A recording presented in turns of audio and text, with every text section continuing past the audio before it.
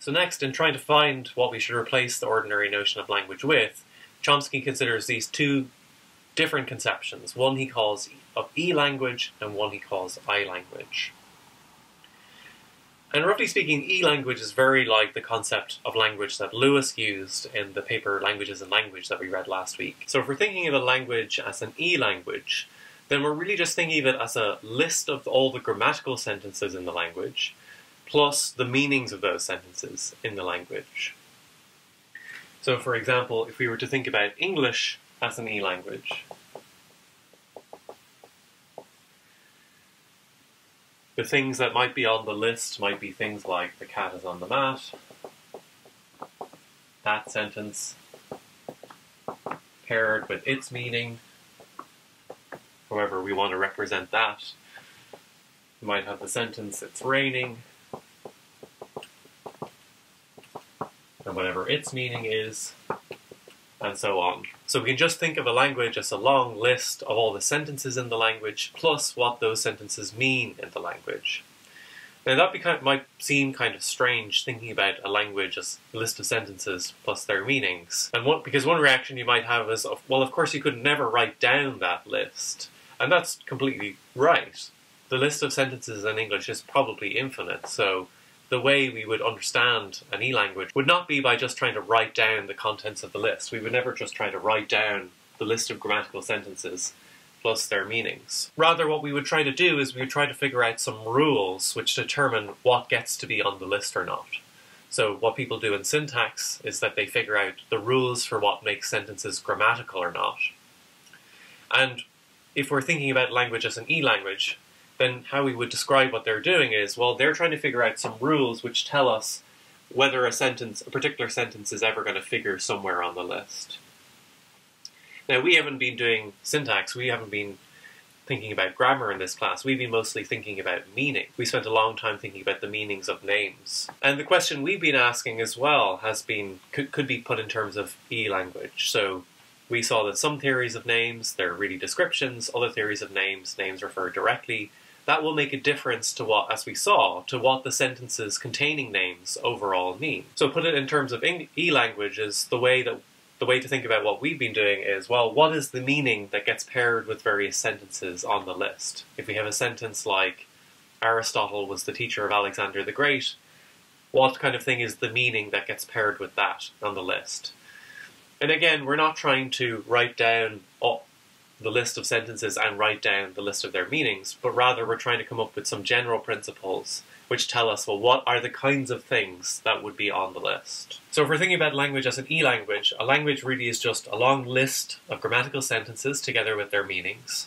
And the study of language is basically just trying to figure out the rules that determine what goes on the list. Syntax is figuring out the rules that determine whether a sentence is grammatical or not, semantics, which is the kind of thing we've been doing, is trying to figure out well, what kinds of things are the meanings that get associated with sentences? What kinds of meanings appear in the list? And again, neither requires that you actually sit down and like write out a list of everything in the language, because of course that would be absurd and impossible.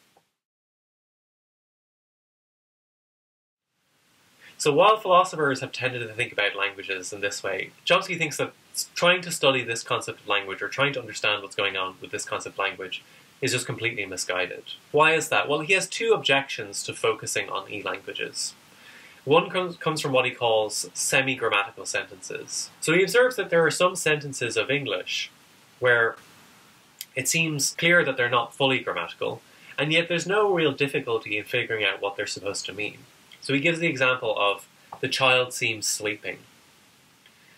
If somebody were to say that, well, you would recognize that it's not fully a grammatical sentence of English, but you would immediately grasp what they were trying to tell you. You would infer that they're trying to tell you that this, the child seems to be sleeping. And the important thing as well is that that is kind of always the way that you interpret it. You would never interpret them as saying that the child is sleepy or something like that. You would always interpret as seem. You would always interpret seems sleeping as seems to be sleeping rather than something else. So Chomsky wants to say with sentences like these, they actually don't really neatly fall into the category of grammatical or ungrammatical. Now they're clearly not fully grammatical because no, no fully competent English speaker would say them. But they're not really ungrammatical either because there seem there does seem to be a right way to understand what that sentence is saying. But this idea of a semi-grammatical sentence doesn't really fit into this way of thinking about the E language. Because remember, in E language, it's a, less, a list of grammatical sentences, among other things, and then we pair those with their meanings. How would we sort of fit in to that? Chomsky seems to be thinking. Where, where do the semi-grammatical sentences fit into that? Something that's worth saying about this as well is that Chomsky's idea is not, is not that it's sort of vague whether this is grammatical, so sometimes we talk about things being vague. For instance, think about the concept of being bald. There are some people who are bald, there are some people who are not bald, and there are people in between where it's kind of hard to say whether, whether or not they're bald. Those are cases of, of vagueness, cases where it's borderline whether somebody is bald or not. But Chomsky thinks that the idea of being something being vague or something being borderline is very different from this idea of being semi-grammatical. It's not vague whether the sentence "the child seems sleeping" is part of English or not. It's perfectly determinate that it's not uh, a fully grammatical sentence of English. It's just it has this other status that is different from ungrammatical.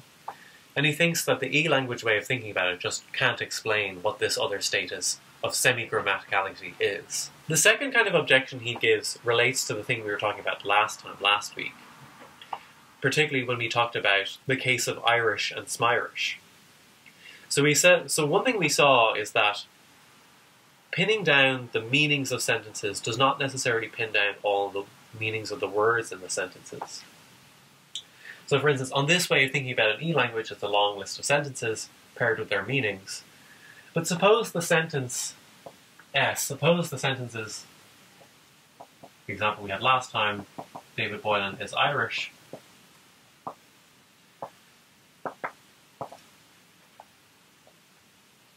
So we'll imagine that's the sentence S1.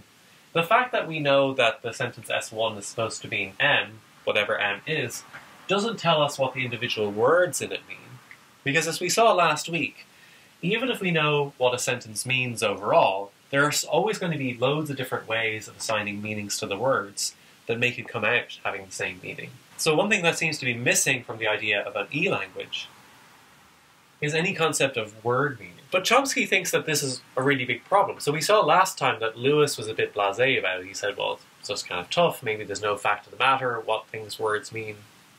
But Chomsky wants to say, no, this is actually a huge problem for the notion of an E language. Because it just is a fact of the matter whether, when English speakers use the word is Irish, whether in their brains they're associating is Irish with the property of being Irish or with the property of being Smirish. There just is a fact of the matter about that.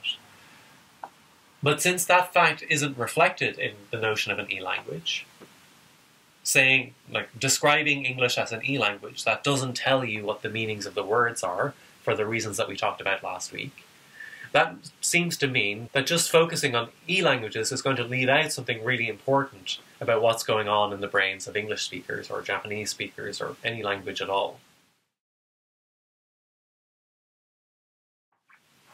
So what is the alternative, you might ask? So we've said something about E languages, and we saw said that well, Chomsky is pretty unhappy about thinking of language as, as an E language. But what what might be the alternative? And the alternative is this idea of what he calls an I language.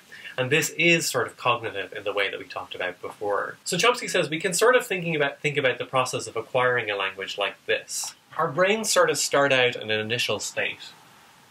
He calls it something boring like S S zero. And when our brains are exposed to, to a language, so suppose you know you grow up in an English speaking community, you're exposed to English, your brain ends up in some sort of new state. State of maybe calling being being an English speaker.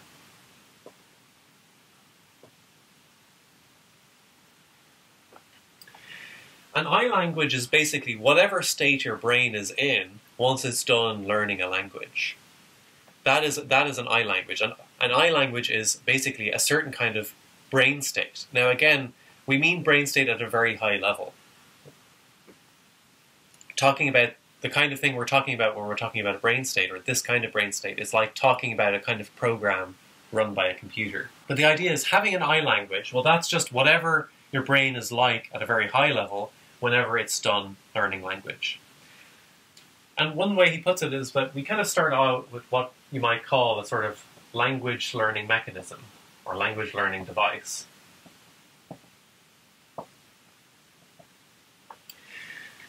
And it's a hypothesis in, lingui- in, in, it's a hypothesis in linguistics that there are just all sorts of constraints on the language learning device in your brain that tells you basically what language can or can't be like. So we talked about this a, a few weeks ago when we talked about the idea of certain things in language being innate.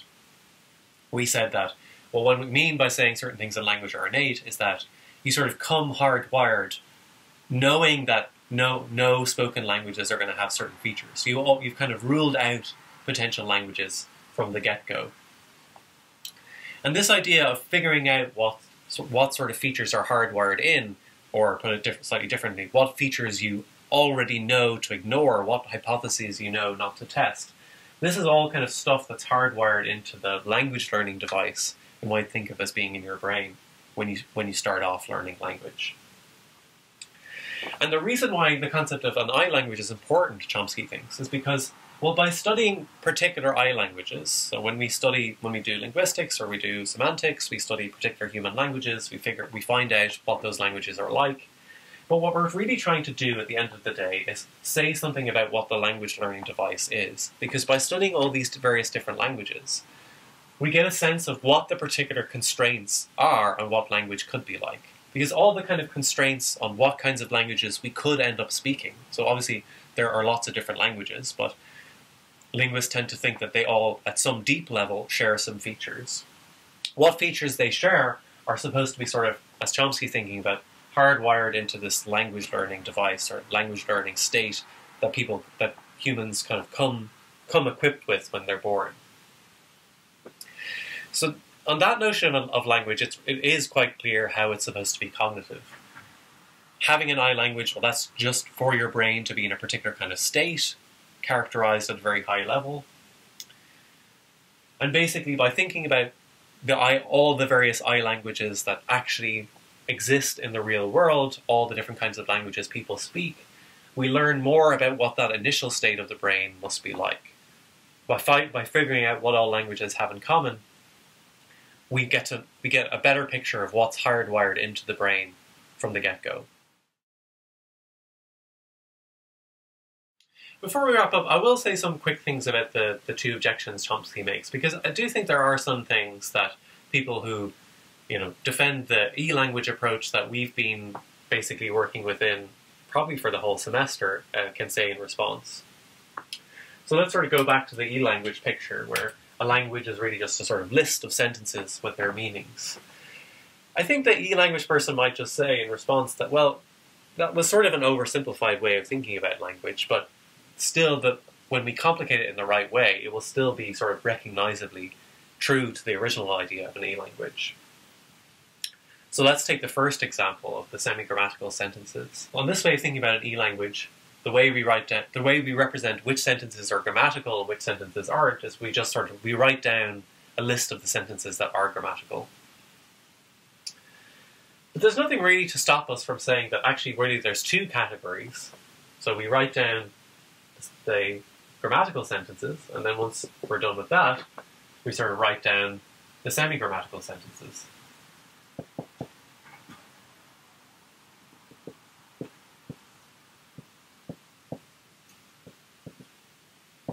and then we also say, well, what sentences, what kind of meanings that they seem to have. I should say, when I say write down these things, I don't obviously mean literally write them down. And also, we would also, the way we sort of write them down is we figure out the rules which tell us which sentences are, are grammatical or not. And likewise, we figure out the rules which tell us what things, words mean. But it still seems like fun, you know, even if the way that we, even if we, the way we figure out what's on the list is by saying what the rules are, it does. I'm not totally sure why we couldn't just say, well, actually, when we're thinking about it in terms of lists, there's a list of the grammatical stuff, and there's also the list of the semi-grammatical stuff. So that's why I think that the defender of the E language could say to Chomsky's first objection.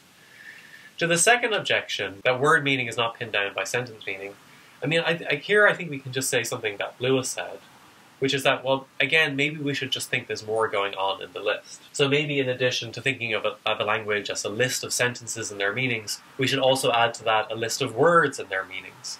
And then maybe, oh, maybe you also have a list of rules about how we combine meanings of words to get sentence meanings. So again, just like in the other case, it seems like what the defender of the e-language approach should say is like, well, we just make whatever our list is, we just add more things to it. We make a more sophisticated list than this original sort of crude one of just writing down sentences and their meanings. So Lewis didn't want to go this way. He wanted to say, well, all there really is a sentence meaning, word meaning, just sort of is, is sort of derivative and indeterminate because sentence meaning doesn't pin down word meaning.